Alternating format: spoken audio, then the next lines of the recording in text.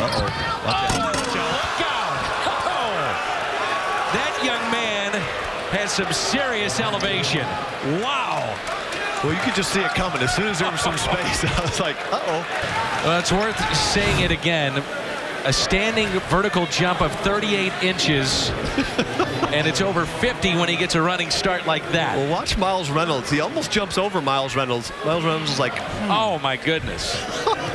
somebody got a good snapshot of that for a poster. Wow.